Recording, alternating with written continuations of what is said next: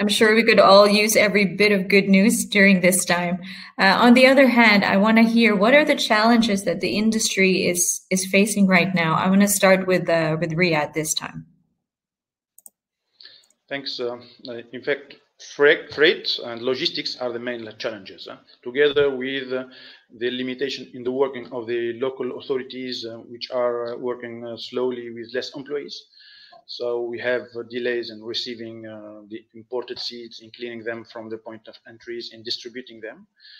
Um, as I told you, the local administration is working three days uh, with uh, limited employees, so everything is taking uh, um, a little bit more of course, they are putting more priority for what we call here uh, strategic seeds, like cereal seeds. Um, and I think in this case they are they, they are doing well. So, but with a lot of delays. Um, the most important uh, dysfunction is um, uh, the registration of new varieties of, on the national catalog. Uh, and also the uh, protection of the new varieties uh, also will maybe be delayed this year due to the fact that it was not possible to make trials or to make the visits to the trials to to see these these new varieties and to, to control uh, this protection um, due of course to the confinement and to, to, the curfew I told you from 6 a.m. to 6 p.m and also what should be uh, maybe a, a, a, concern with the financial uh, situation of the farmers and the slowdown in the financial system in general. This could uh, also affect our activity and our members.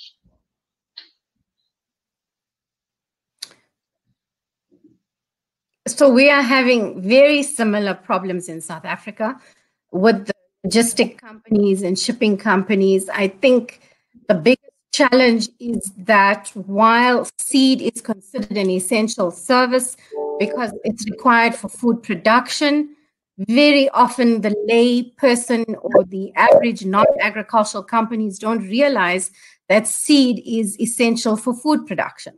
If they don't see that it is actually uh, uh, something that is for food or something that you can eat or something that would have to go into a package for a supermarket, they think it's not an essential product. So our biggest challenge was being able to communicate that seed is why seed is an essential product or an essential goods because all farmers needed to make food so that we can keep the supermarkets full. This was one of our biggest challenges here in South Africa. Not to mention, um, we have to still maintain social distancing rules. So even though a company can continue, we have to function with sometimes less than 50% of the staff. Um, and that also made it very uh, more, more difficult, longer. You'd have to employ people over a longer period of time, especially if you have have them on um, on farms. So those were the, the two biggest challenges that we've had. At the continental level, uh, one of the biggest challenges is collecting information from the country where there is national there is no national seed association such as Ivory Coast, uh, Sierra Leone, the Gambia, and so on, whereas they have also seed sector. So we are trying to to to get or to we have seed association there, but they are kind of dormant. So we try to wake them up. And uh, since the situation of the continent is the uh, uh, giving reflection or reflecting uh, the situation of each country, we have a logistical problem in transportation and you know in uh, at the port, seaport and airport. They they operated uh, less efficiently than before the, due to this context. So uh, those challenges are uh, general, and I would like to mention that since vegetable seed is not all produced in, uh, in Africa. You cannot produce, for instance, carrot or cabbage in uh, sub-Saharan Africa, except in South Africa and Madagascar that uh, has uh, the climate, the required climate.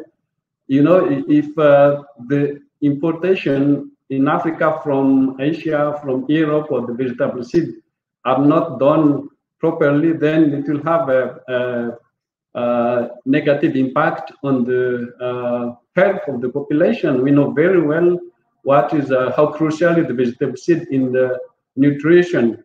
So uh, with the hope that uh, the situation will be normalized soon, so that uh, we can keep going and uh, we will uh, continue being to to be in the same basket, meaning we'll keep the solidarity. As I mentioned a while ago, we try to be in touch very quickly by creating a special WhatsApp group, and we'll use any means of communication to give to uh, to give uh, uh, information and to encourage each other in this difficult time.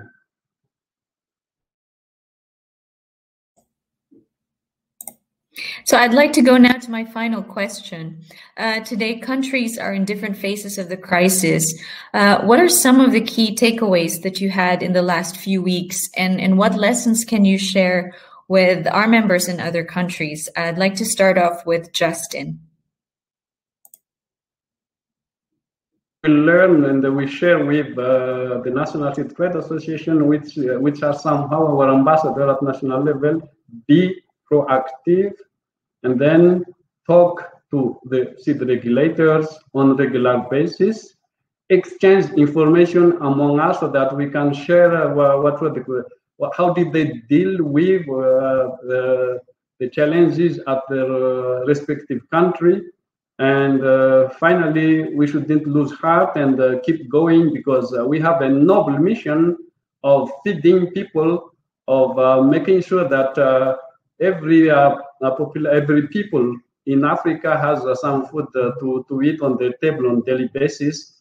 So we still keep that uh, in mind that uh, we uh, play a crucial role and there's no need to uh, capitulate that we'll uh, fight and strive so that seed is move uh, seed is moving in a proper way uh, I think uh, now we are at the uh, last 10 days here in Tunisia of confinement. the, the, the, the follow-up of the communication is key, in fact. communication with our members, especially the communication with the government, also with the authorities, is very important, and even and also communication with the farmers' organization and the farmers, uh, because it's important to ensure to ensure the solidity and the, in the value chain, and of course uh, the food security. So I will insist uh, a lot on the communication and the follow-up and to continue the communication to make it clear that the seed is at the origin of, of, the, of, the, of everything of, of life and, and, and the, the, the, origin of agriculture and seeds today uh, is food in three or four months.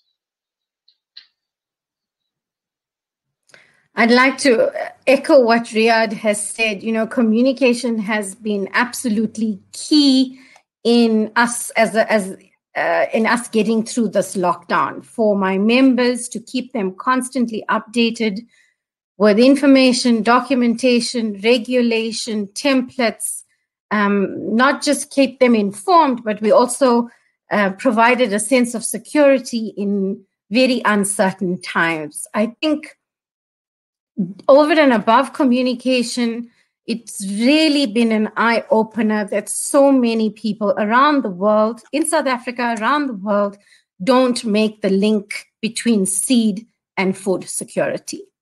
Seed is um, often a forgotten commodity. I think um, I don't know where people suddenly think what farmers have to farm with to produce the food. And I think it's really, really important to reiterate over and over again that seed is food and it's and it's critical to livelihoods today. Thank you so much, Lukeshni. I, I couldn't have said that better. Um, I'd like to thank everyone for their time and for their insights. I know that everyone's doing their best to keep things going uh, for this very important sector. Um, to those watching, if you have any questions for Justin, Riadh, or Lukeshni, please send them in the comments and we'll try our best to get back to you. Thanks again and stay safe and healthy, everyone. Bye. Bye. Bye. Stay safe. And don't forget, see this live.